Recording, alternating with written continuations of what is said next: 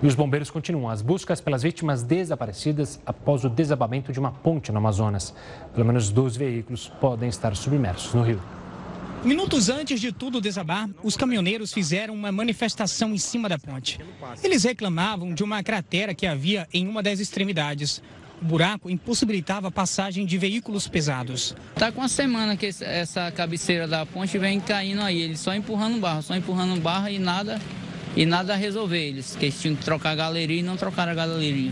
Alguns minutos depois, a estrutura cedeu levando junto pessoas e veículos. Eu pulei na cabeceira da ponte. Tinha muita criança, senhora. Foram momentos de desespero. Ficou gente embaixo? Não sei.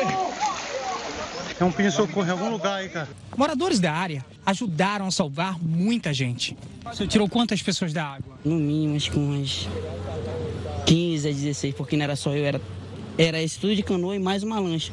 As buscas continuam no rio Curuçá, na cidade de Careiro da Várzea, a 25 quilômetros de Manaus. O que deixa o trabalho mais difícil é a profundidade de 15 metros no local do acidente. A tragédia só não foi pior porque as aulas das crianças já tinham sido suspensas pela condição da ponte. O horário em que a estrutura cedeu é o mesmo que os ônibus que fazem a condução escolar costumam passar toda manhã. Acontecesse um acidente com os ônibus da escola, como é que não ia ser? Sem a ponte para chegar até o outro lado, a retroescavadeira está abrindo um espaço aqui na lateral para facilitar o acesso dos comunitários até ao outro lado da margem.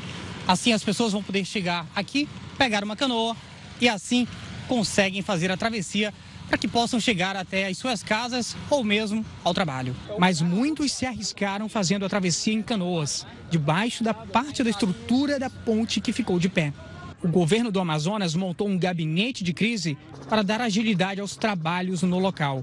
A polícia já começou a investigar as causas da tragédia. Só estava tendo tráfego em meia pista.